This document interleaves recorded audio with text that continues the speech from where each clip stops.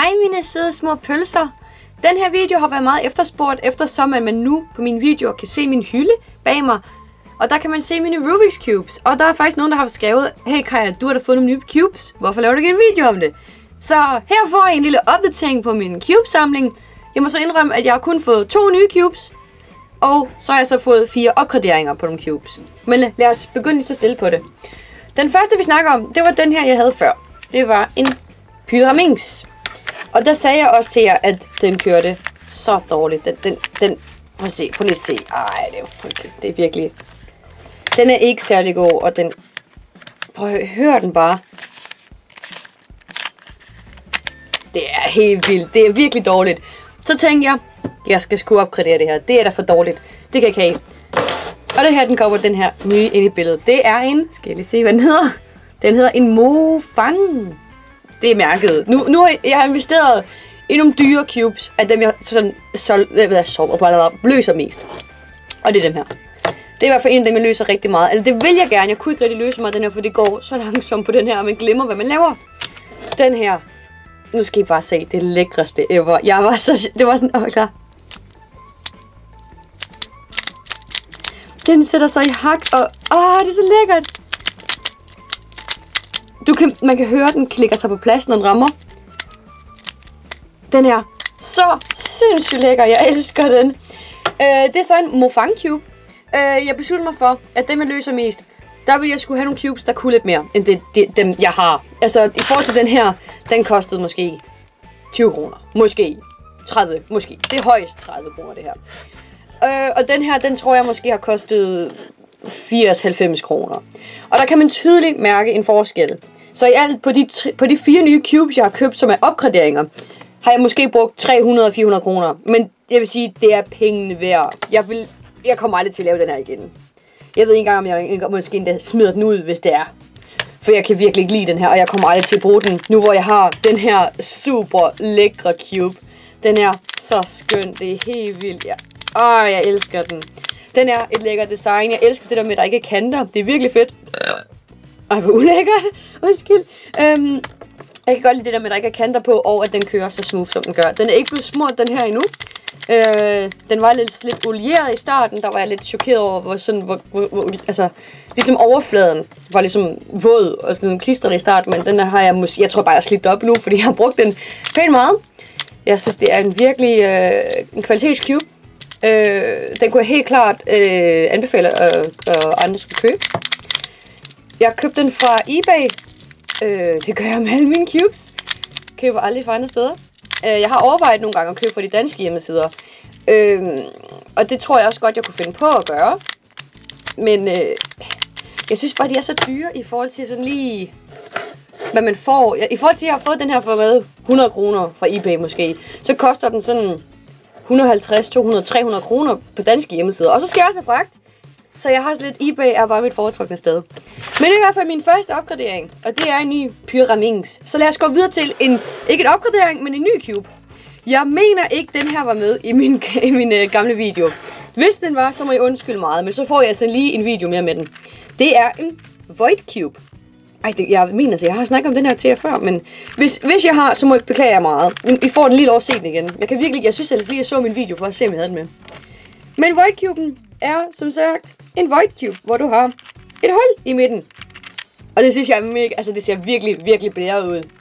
Men, men selve cuben er det samme som en 3x3. Der er ikke noget, altså jo, jo der er lidt nyt, fordi oppe i toppen kan du få parodies, øh, øh, så de ikke, øh, ikke kan laves som 3x3, og det har jeg ikke lært endnu. Fordi jeg har haft lidt med ikke at sætte, jeg gider ikke rigtig sætte mig ind i min cubes for tiden, derfor jeg bare har købt opgraderinger. Men den her, den købte jeg omkring min fødselsdag, det er en super lækker cube. Den, øh, altså i forhold til, den her, det er faktisk den eneste cube, der ikke kommer fra eBay. Den har jeg nemlig købt i en legetøjsforretning nede i Assens. Øh, den hedder, jeg tror det var Legekæden. Jeg havde kigget på den i lang tid ude foran vinduet. Øh, og der havde jeg kigget på den, og jeg var sådan ah, jeg, jeg køber normalt ikke cubes fra butikker, når de også er for Lego. Det her, den er for Rubik's Cubes eget mærke. Du kan rigtig se, det er Rubik's Cubes eget mærke, det her. Og det gør jeg normalt ikke, fordi at de er de værste cubes, der findes ever. De kører af lort til, de ligner lort, og de, er, man kan ikke, man, de går så langsomt, at man ikke kan huske, hvad for nogle moves man laver og sådan noget. Øh, så derfor var jeg meget skeptisk over for at købe den her. Men til sidst der tog jeg mig sammen til at sige, okay, jeg køber den, og hvis det er en lortecube, så er det ærgerligt. Men den viser faktisk, altså, den, kø- den er ikke super smooth, men i forhold til, at den er fra Rubik's Cube, og, så kører den faktisk rigtig godt. Det, den skal nok smøres på et tidspunkt, men jeg har ikke lige overgivet at sætte mig ind i, at smør, øh, hvordan man smører endnu. For jeg er lidt bange for at samle til min cubes fra hinanden og sådan noget lignende. Men den kører faktisk overraskende godt. Jeg løser den ikke så tit. Jeg synes bare, den er fed at have. Den er sjov. Men, men den, det der med, den, altså den sætter sig nogle gange fast, når du sådan... Den kører ikke så godt. Den, den laver ikke sådan, de cutter ikke corners og sådan noget lignende. Så jeg synes, det er lidt... Den er fed at have, men det er ikke noget, jeg sådan... Det er ikke sådan jeg vil anbefale. Altså, jeg vil gerne anbefale at købe den, hvis du kan lide den. Altså. Men, men der er ikke så meget spænding i den. Det er bare flot, og den ser fed ud, når du så sidder... Og, altså, nu sidder jeg ikke så meget ud for dem, men allerede min familie var sådan helt, åh, den ser syg ud, men den er som en 3x3. Det er lige så nemt. Altså, du gør det hele som en 3x3, bare uden midten. Og der er jo ikke noget, du laver ved midten, så det er jo ikke noget problem. det er mere med at gætte med farverne og det, og det kan du jo se. Men i hvert fald, det er en øh, fin cube til prisen. Jeg tror ikke, det er måske, hvad, 100 kroner? 150, tror jeg, det var. Det er udmærket til prisen. Øh, tror ikke, jeg køber nok ikke en opgraderet version af den her. Det er nok bare den, jeg har, for den, den kører udmærket. Men øh, det er i hvert fald en af mine nye. Så den anden nye cube, jeg har købt, det er en 2x2. Jeg ved godt, i sidste video tror jeg, jeg havde en 2x2 med, men nu har jeg simpelthen købt en, en Speed 2x2. Den er super lækker. Den kører så sindssygt smooth. Åh, oh, jeg elsker den her. Så lækker, så lækker, så lækker. Øh, jeg kan ikke lige huske mærket på den her, må jeg indrømme, men det er lidt af det samme som alle mine andre cubes. Altså, jeg kan godt, I kan se, hvad jeg køber meget. Det er, hvor du ikke kan se selve alle dem her sorte. Jeg elsker det her med, de bare helt... Mm. Det ser så lækkert ud. den har jeg også købt på eBay. Den kostede ikke så meget. Jeg tror, det er derfor, jeg købte den. var sådan, det var 20-30 kroner, men jeg kunne se, at designet var jo noget, der var lækkert.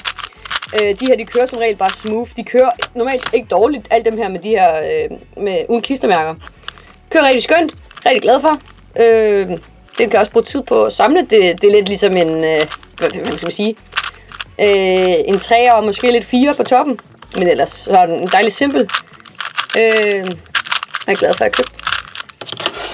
Og den næste opgraderede cube, jeg har, det er den her. Det er min øh, nye 4x4.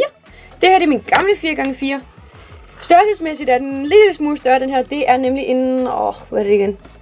En... Ej, det kan ikke passe, den hedder det. det håber jeg ikke. Ej, det, er der ikke noget navn? Xixing Cube.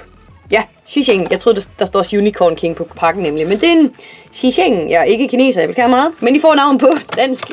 Xixing Cube. Den har igen ingen klistermærker og kører bare så lækkert. Mm, elsker den. Ej, den undskyld, nu ødelægger jeg lige min omvisning, men den kører virkelig godt. Øh, lækker design, kører rigtig dejligt. Den er også lidt olieret i starten, men det tror jeg bare, de her er meget. Øh, I forhold til den her, jeg, jeg, jeg samler den her hele tiden i forhold til det her. Den her, altså den var, det var den første cube, jeg købte ud over en 3x3. Eller jeg købte faktisk den her før en 3x3. Men, men, altså jeg kan godt lide lyden den her laver. Men, men det er bare den her, den er bare... Oh, jeg, jeg, kan godt, jeg elsker designene. I, snart, I må snart vide, at jeg bare elsker de her designs. Helt vildt. Og den har jeg virkelig ikke fortrudt. Jeg købte den er også fra eBay, også omkring de 100 kroner, tror jeg. Det er i hvert fald ikke noget, jeg har fortrudt. Jeg elsker den her Hvad fanden er det, sådan skraber sådan? Ej, nu viser jeg ikke, at der går i stykker eller sådan noget.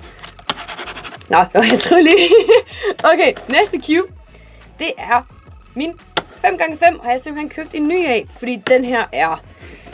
Du kan se størrelsesmæssigt, altså der er, de er lidt større, øh, selve cubesne. Øh, jeg vil sige, den her, den har aldrig været super god. Altså, den har da kunne hjælpe. Altså, den, jeg kunne, jeg, jeg lærte at løse 5x5 med den her, men prøv at høre også bare. Den kører altså ikke særlig lækkert. Den her bare... Åh, det er faktisk så lækker, Heppe! Ej, jeg elsker, det var lidt flip. Men jeg er virkelig, virkelig glad for, at jeg købte den her. Den er også været omkring 100 kroner for eBay. Jeg købte nærmest dem alle sammen samlet, og de er bare så sindssygt gode. Jeg elsker designet, de kører rigtig smooth. Jeg har endda også overvejet, om jeg skulle måske have en 6x6. Men jeg har stadig ikke fået løst min 6x6, så jeg må nok hellere vente med at opgradere den, før jeg begynder at løse den ordentligt. jeg er ikke noget længere med min 6x6, det beklager jeg meget. Det vil jeg nemlig gerne, men det gør jeg ikke. Jeg, jeg, jeg har ikke lige sat mig ind i det endnu. Jeg skal have sat mig ind i det, men øh, det, for, det kommer nok ikke lige forløbig. Den sidste cube, jeg har opgraderet, det er min yndlingscube, tror jeg nærmest det er. Nej, det er i hvert fald... Ja, jeg tror faktisk, det er min yndlingscube. Jeg elsker den. Den er så fed. Mega Minx. Den her. Og jo, det er ikke engang en cube. Det må man ikke kalde den. Det er en puzzle, nemlig. Man må ikke kalde den en cube. Det her er min gamle. Eller gamle, den er jo ikke engang så gammel igen. Men det er i hvert fald den, jeg havde som den første. Og I kan se igen, der er ikke nogen stickers på, og det er bare så lækker. Den var den mest olierede, der var. Jeg var virkelig bange for, at den ville blive ved med at være olieret. For den var sådan virkelig, hvor den nærmest gled i hænderne, for den var så utrolig olieret. Men den kører. Åh, åh, oh, hvor er glad. Og så den her gør. Altså, lyden den her laver, det er fandme, det er fandme også lækker. Jeg kan godt lide lyden af nogen, der lærer, larmer lidt. Men, men, så her, nu kan jeg ikke, så nogen gange sætter sig fast, og den kan ikke, bare, bare den er sådan en lille bitte stykke inden for den her, så kan du ikke dreje den. Og den her går, åh, det er bare sådan, kan sætte den her, så bare, oh. Men øh, jeg er i hvert fald meget glad for, at jeg har opgraderet den. Det er en Jung Yun Cube Puzzle, tror jeg. Tror jeg, den hedder. Det er i hvert fald en rigtig lækker cube. Den her har også kostet omkring de 100 kroner fra eBay. Og kæft, jeg er glad for den her. Det er, mega, det er virkelig min yndlings, min yndlings. Jeg må ikke kalde en cube, men det kan jeg. For den puzzle. Men jeg kalder det, når jeg siger cube til den her, så er det en puzzle. Det er min yndlings, og hvis I nogensinde skulle have en cube, hvor I tænker, okay, jeg skal lidt mere... Øh... Okay, den er ikke så svær igen, men det er lige det der med at lære den. Men den ser for det første rigtig blæret ud, når du sidder foran folk og sådan lige, ah, jeg laver den skulle lige også. Det ser så blæret ud, og den er så fed. Jeg elsker den. Plus, den tager lidt tid at lave, og det kan jeg godt lide. Jeg kan, altså, jeg kan godt også lide 3, ikke 3 gange 3 fordi man løser den hele tiden, men så er det heller ikke sjovere. Den her kan jeg godt lide, at man skal sidde lidt og lede, og man skal, man skal bruge lidt tid på det, og man skal nusle lidt med det, og det kan jeg godt lide. Og så ser den jo bare så fed ud. Den her, altså jeg kan også godt lide designet, men det er altså ikke det samme. Det er ikke det samme. Det er sådan lidt... Hvad jeg skulle sige, det her er min yndlings. Det er virkelig en virkelig, en virkelig flot cube. Jeg kan godt lide. Yay! men det var en lille opdatering på min cube, som jeg håber, jeg ved ikke, hvad fanden I skal bruge det til, men øh, så I kan se, hvad jeg har købt og hvad jeg har fået til.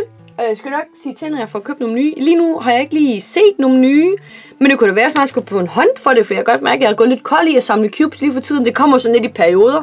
Ligesom med spil, for eksempel spiller man Team Fortress i meget lang tid, og så spiller man lige CSGO, og så spiller man ikke Team Fortress i et stykke tid, og sådan noget. Så kommer det igen, hvor du lige pludselig bare spiller til Fortress igen og igen. Og lige nu, der, der, jeg samler en cube en gang imellem, sådan lige måske en gang om dagen. Men det er ikke så meget mere, for før du kan bare sidde og samle dem flere timer.